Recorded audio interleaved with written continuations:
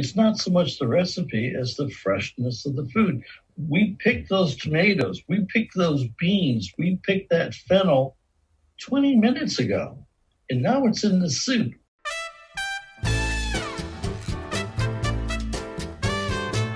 I'm Robin Sussingham, and this is The Zest. Citrus, seafood, Spanish flavor, and southern charm. We're all about food in Florida. Today, Florida Gardening 101. Just in time for Florida's fall planting season, an expert offers tips for growing your own food.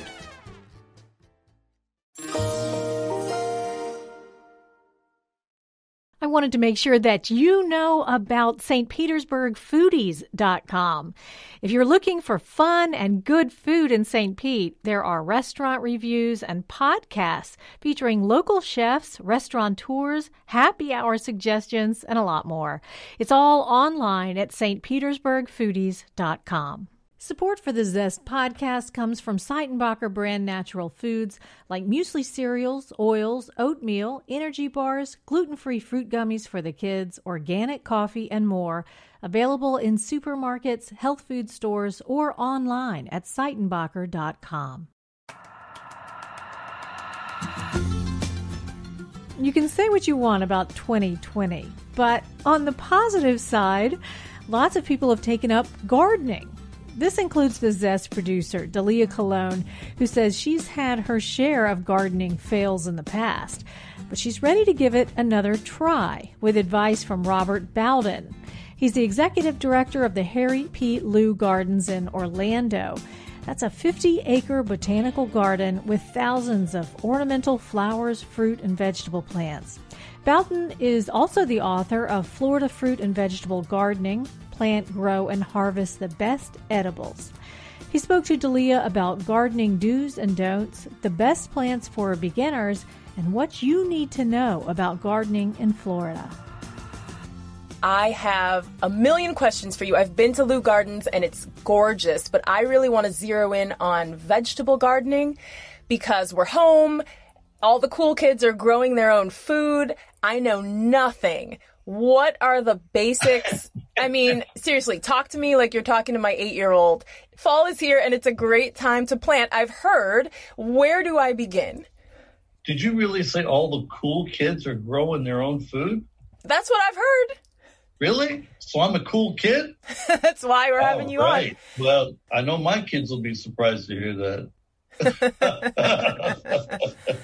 yeah, well, you know, people grow vegetables for a lot of different reasons. I grow vegetables because it's a, it's an inexpensive way to produce your own food. I'm, I'm really old. I'm a product of the 60s, and I grew up with Rachel Carson and Silent Spring, where uh, all of this information came out about all these horrible chemicals that we were using, and we didn't know anything about them. She brought that to light, and it was astonishing. It was it was absolutely horrible to, to realize all that stuff that we were eating every day and didn't even know it. So uh, it's a great way to grow your own food safely.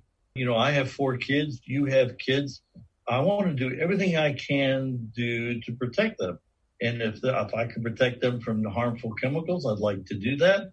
The way to do that is to grow vegetables. We grow them from seed only because I want to know from the very beginning to the time I harvest them that uh, I, I, know what's been sprayed on them, which is nothing.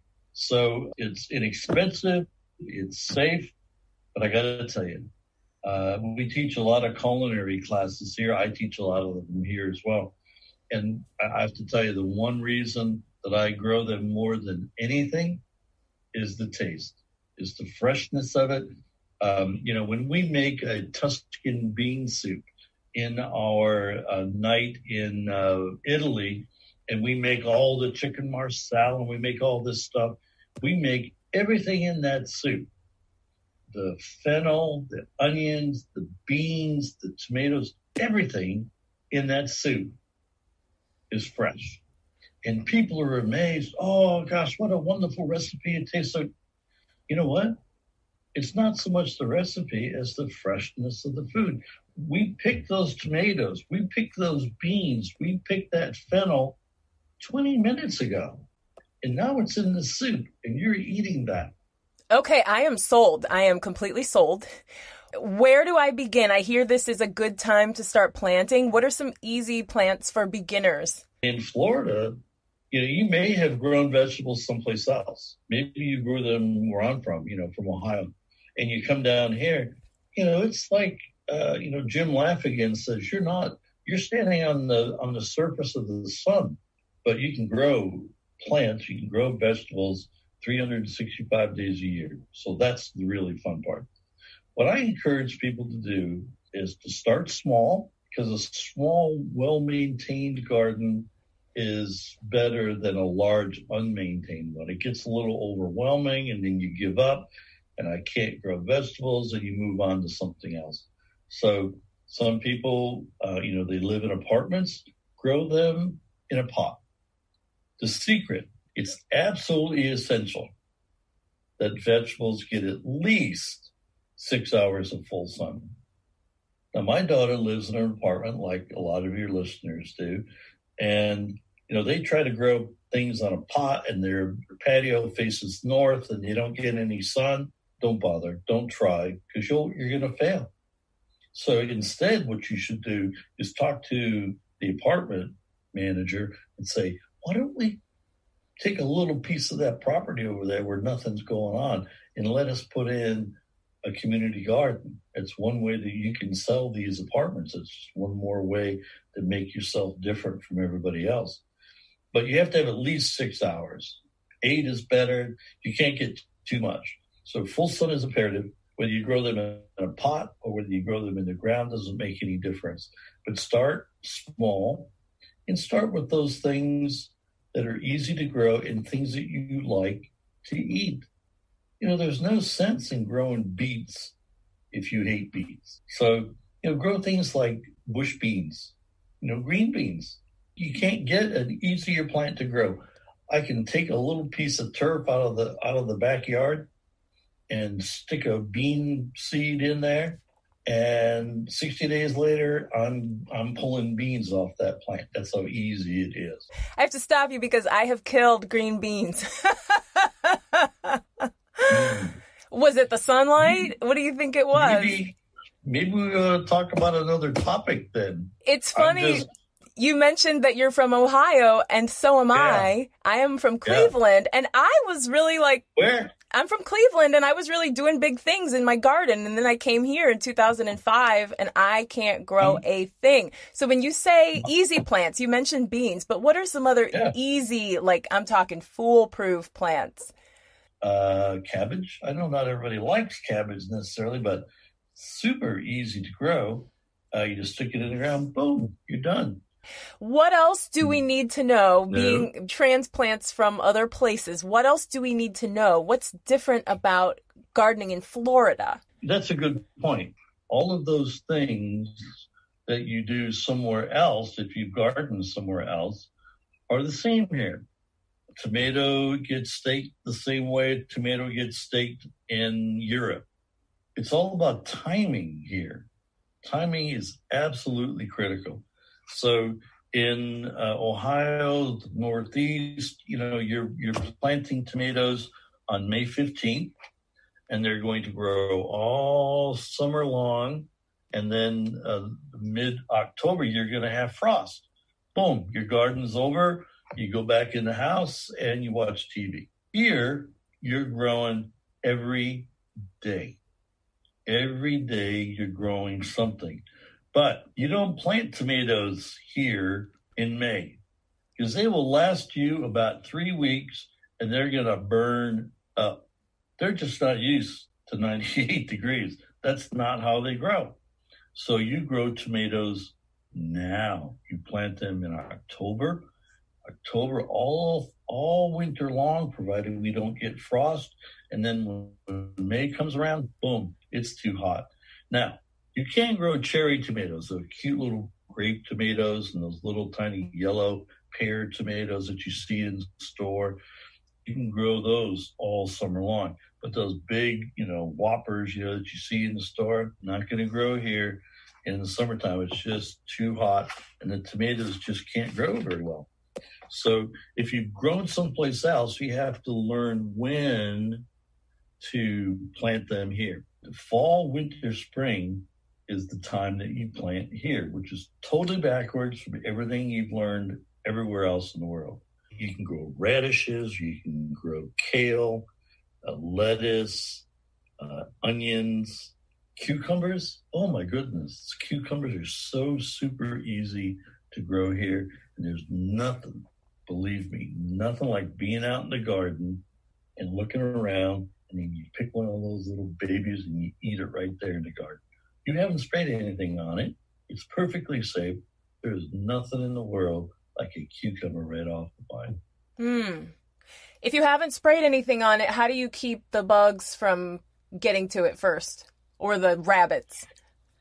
Uh, well, how did you know I have rabbit problems? Rabbits, rabbits are tough. Rabbits are tough, and uh, something as simple as chicken wire around a little garden uh, is really all you need to do. But what about bugs? You know, I, I, in my book called Florida Fruit and Vegetable Gardening, I say everything you've heard about bugs in Florida is true, except it's worse than that. Bugs are bad. But there's a way to prevent bugs from and other pests and diseases from attacking your plants. You grow them in a healthy way. Make sure, remember we talked about full sun. If you grow them in full sun, plants are going to be healthy. They're going to get plenty of sunlight. They're, they're happy. They're growing. If you give them water, they're going to do well. Um, and make sure they have well drained soil. It's very rare that a plant will get bugs if it's grown properly. So healthy plants don't get bugs.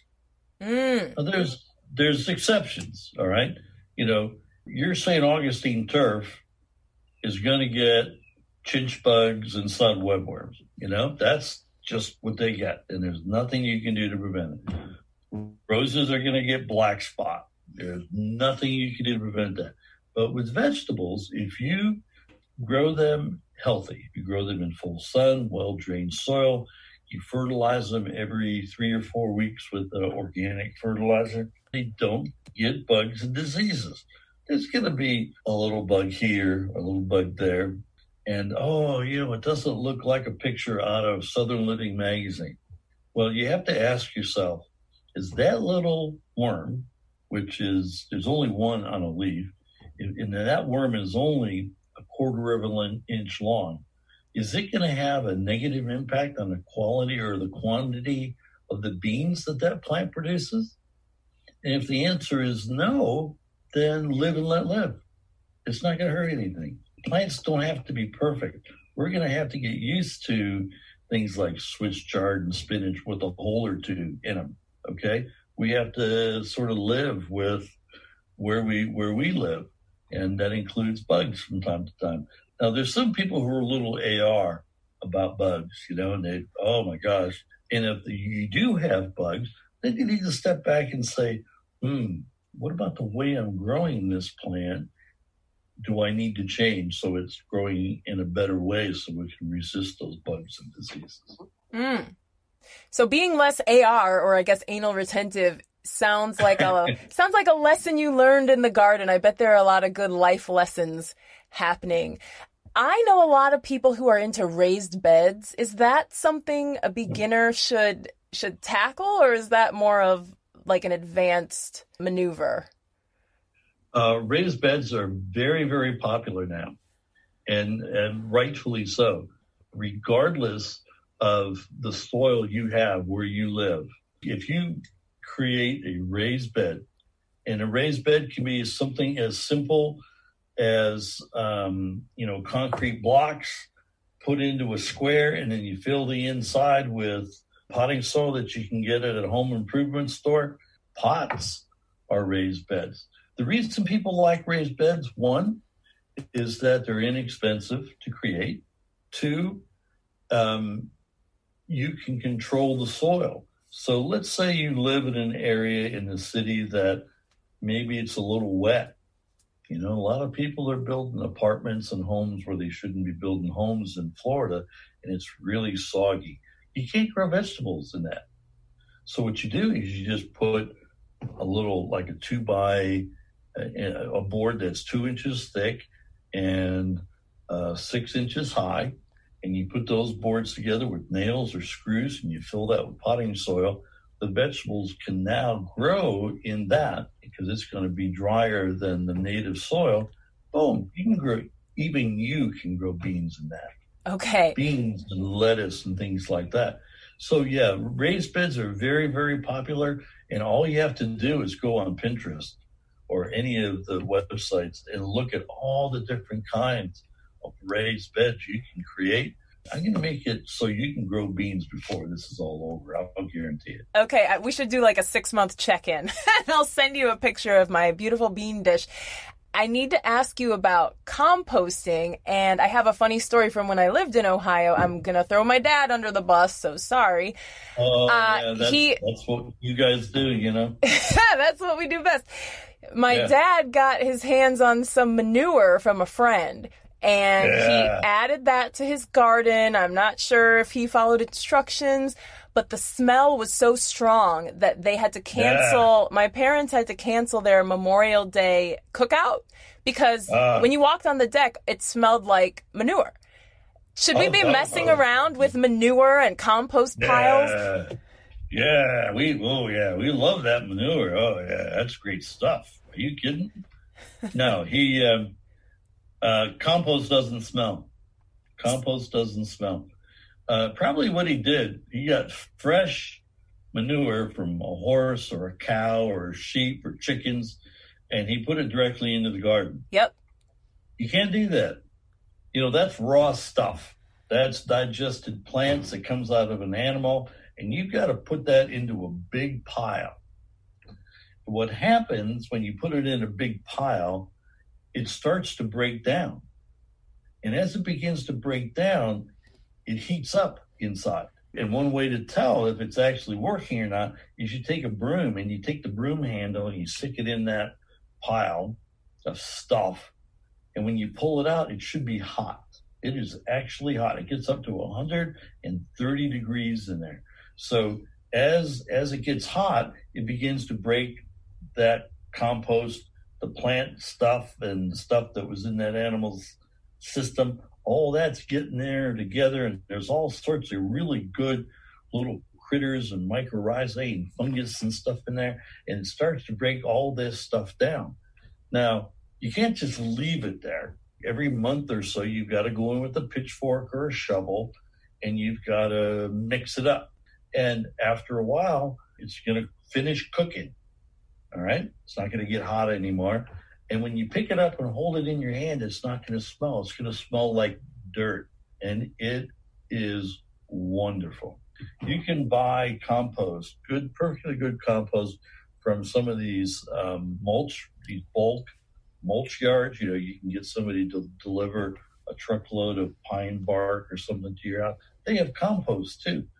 But yeah, a compost is a little more complicated than what your dad thought. Yeah, it was kind of a nightmare. I feel like I can smell it all over again. You'll never forget it though, will you? I absolutely won't forget it. And maybe that's what kind of scared me off. What are some other resources? I mean, YouTube is a great place to find all kinds of things, which is sort of ironic because it's it's using technology to do something that people yeah. have been doing since the beginning of time. What are some yeah. other, you know, resources or if people need a little more guidance, um, where can they turn? Well, if, if, if you don't mind, I can I can uh, push my uh, my book is called Florida Fruit and Vegetable Gardening, and it lists about 35 vegetables that you can grow and about 25 fruit trees that you can grow in North, Central, and South Florida. I'm very surprised and pleased that last month it topped the 30,000 plus sales mark. So apparently it must be helping some people out. But it, I mean, in that book, um, it talks about how to get started and starting with how you grow from seeds and how to create the soil and how you water the garden and garden tools. The other thing that's really important of this book, and this is what we're so proud of here at Leu Gardens, is that we've been evaluating different types of vegetables for almost 10 years now. And so if you're new to gardening and you go to the store and you see these these racks of seed, you you have to assume, right, that the beans that are on that rack are the right beans for Florida. But I can tell you they're not. You know, when you go to a Home Depot or a Lowe's, you know, those seeds are bought by the people out of Atlanta and they're shipped to Orlando and they don't have a clue what grows here. So what we have done is taken all of the work out of it. And when you look at the book, you can say, here's a list of beans. Well, it lists four or five bush beans that will grow here in Florida. We've tried over 50 these are the five best. We've done that with everything else broccoli and lettuce and cabbage. So that book is a big help. Now, your book is about fruit and vegetable gardening. We haven't even touched on fruits. What are some easy fruits to grow? I can tell you about my failed attempts at growing a mango tree, avocado, all kinds of stuff. You know what? You you really need to spend some time here and I'll take you out there and we're going to teach you how to grow beans and mangoes. Okay, it's a deal. All right. You know, we're here 365. So we have about 35 different vegetables and we have about 25 different fruit trees. Is there anything easier than a banana? Oh my goodness sakes. I, I have to tell you, my my sister still lives in Cleveland. And I wait until there's a blizzard. And I call her and I say, Linda, how's the weather in Ohio? grumble, grumble, grumble. And I said, You'll guess what? I had fresh bananas off my banana tree and I had fresh squeezed orange juice off my citrus tree. Click. You know, he's gone. Um, but so, you know, something as simple as bananas and blackberries. Do you like star fruit? Yeah super, super easy to grow here in Central Florida. What about figs? Oh, you yeah. a fresh fig? I yeah. would like to. Super easy to grow. Things like grapes, you know, you're to have to share those with the raccoons, and you may never get one. But um, loquat, you like, have you ever had a lychee? Things with bumps all over mm-hmm, Mm-hmm. Yeah, you can grow those here. Hmm if you can keep them away from the squirrels. Mangoes, yeah. you said, but there are varieties of peaches and nectarines and plums that are specifically bred by a professor up at the University of Florida that will grow in Florida heat, and you can grow pineapples. You know, maybe that maybe that would be a good thing for you to start with. You can take you can buy a pineapple at the store wait for it to ripen, turns nice and yellow. Then you cut about an inch off below that green stuff, and then you let it sit around for a day or two. And then you take that and you put it into a pot that's, you know, about one gallon worth of dirt in there and just stick it right on top of the soil and stick it outside. Boom, it starts to grow roots on that little tiny piece. In a year and a half, you'll be picking fresh pineapple in your garden. How cool is that? I would love that. I tried that once, but I didn't let it dry out for a few days, so maybe that was my mistake. But I want to go back to bananas for a second because yeah. bananas from the grocery store they last a few days and then you're always returning again and again because you can't really stock up on bananas. So how convenient would it be to grow bananas at home? But how do you even do that? I don't even know what a banana seed looks like. Bananas don't have seeds. So you have small banana plants. So you have to go to a nursery or a garden center and you buy a little banana plant in a one gallon can. And you take that home and you put it in the ground. And in about a year and a half or two, you're going to have bananas. So bananas are pretty cool. You can grow those and there's not a lot of not a lot of trouble. You just need to fertilize them a couple times a year and make sure they get plenty of water. I think I can do that. This has been very helpful and congratulations on the book. It sounds like success for the book is really ramping up and I wonder if that's because people are at home and doing more cooking at home. Why do you think gardening is a great hobby for this current time that we find ourselves in? I think a lot of people now are growing their own vegetables. One, because it gets them outside and they just go just pardon me, they just go bat crap crazy inside. So, you know, they have to be able to get outside and, and get some fresh air and get away from the kids or the dogs or the cats or whatever you got. But man, it is it is so nice to be able to just reach up there uh, and grab a handful of beans. It keeps your mind straight, uh, and you can really be proud that you've grown your own food. Well, Robert, this was so helpful and fun, and I'm really fired up to give it another try. I'll send you some pictures in a few months. Oh, that'd be great. That was Robert Bowden of Leu Gardens in Orlando speaking with Dalia Colon. Robert has plenty of suggestions for how to use your gardening bounty, including Tuscan bean soup with Asiago toasts and a caramelized onion, arugula, and goat cheese omelet. Find these recipes and more on our website, thezestpodcast.com. I'm Robin Sussingham. Dalia Colon and I produce The Zest with help from Cheyenne Jaglel and Mark Hayes. Copyright 2020, WUSF Public Media, University of South Florida.